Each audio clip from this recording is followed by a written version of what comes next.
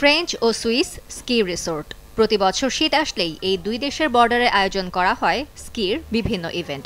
কিন্তু এবার পরিস্থিতি একেবারেই আলাদা। বিশ্বব্যাপী করোনা জেঁকে বসায় স্বাস্থ্য নিরাপত্তাটা মাথায় চলে আসে সবার আগে। তাই নিয়মিত এই আয়োজনের নানা দ্বিধাদ্বন্দ্ব স্থানীয়দের মাঝে।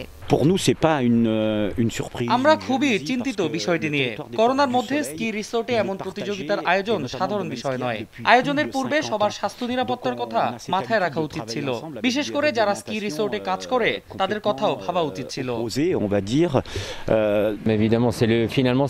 করোনার দ্বিতীয় ধাপ চলছে অনেক মানুষ মারা গেছে স্কি আয়োজন দেখতে স্বাভাবিকভাবেই বিভিন্ন স্থান থেকে অনেক মানুষ ভ্রমণে আসবে আর এই করোনার মধ্যে সেটা হলে খুবই খারাপ হবে কারণ প্রতি প্রতিযোগী বা আমরা যারা এখানে কাজ করি আমাদের জন্য স্বাস্থ্যবিধি মেনে চলা সহজ হলেও পর্যটকদের ক্ষেত্রে তা ততটাই চ্যালেঞ্জিং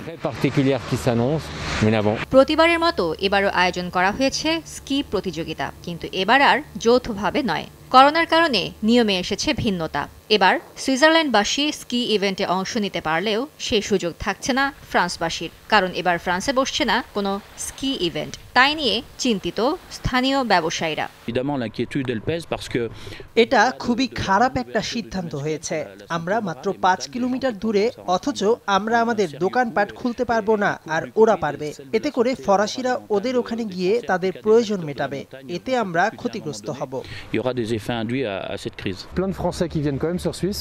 আমরা একসঙ্গে কাজ করে অভ্যস্ত প্রায় পঞ্চাশ বছর ধরে। একে অন্যের প্রয়োজনে আমরা সবসময় এগিয়ে আসি শেয়ার করি সবকিছু। তাতে আমাদের কোনো সমস্যা নেই। সমস্যা হলো ফ্রান্স আর সুইজারল্যান্ডের বর্ডারে যেসব পর্যটক আসবেন ভ্রমণে তারা অভ্যস্ত নয় এমন নতুন নিয়মে.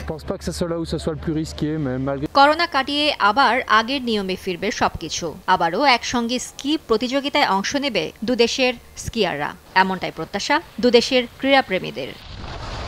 ফারজানা মুমু সময় সংবাদ।